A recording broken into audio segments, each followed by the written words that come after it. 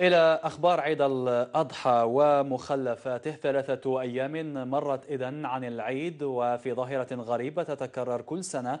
لا تزال آثار النفايات الناجمة عن أضاحي العيد وتتمثل عموما في الجلود وكذلك الفضلات والدماء وحتى اللحوم التي تملأ الأحياء الجزائرية. عين عن ذلك من العاصمة في تقرير صفوان أحمد عيسي وطارق دريدي. هو حال أغلبية أماكن رمي النفايات بعد يومين من عيد الأضحى فكل ما يتعلق بأضحية العيد موجودة هنا. هو ما أصبحت عليه أغلبية أماكن رمي النفايات بالعديد من أحياء العاصمة. روائح فضلات دماء وجلود أضاحي وحتى شحومها هي ملقاة على الأرض فالكل هنا يشتكي.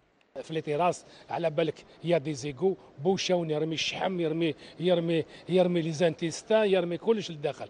les égouts تاعنا كاع مبوشين. ordures زبل قرون مصارن كاين دبان حاشاك ريحة حتى للدار. يا اخوانا نطلب حاجة ينقوا كل واحد ينقي عند باب دارو. كي يرمي يرمي بعيد. les femmes anciennes elles ont pratiquement disparu. les nouvelles هادو واش يكونش كل روج لابر وكذا خير عدم الوعي وقيام الكثير من المواطنين بأفعال ليست من قيمنا لرميهم نفايات الأضحية وعدم تنظيف مكان النحر يعد سبب في الوصول إلى ما هو عليه اليوم.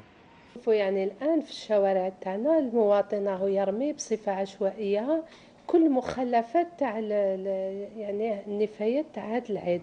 نلقاو كي تشوف الحاوية ولا تلقى تلقى لي زانتيستان تلقى القرد تلقى الهيدورة تلقى كل أنواع النفايات يرميها بصفة عشوائية في في الطرق العمومية.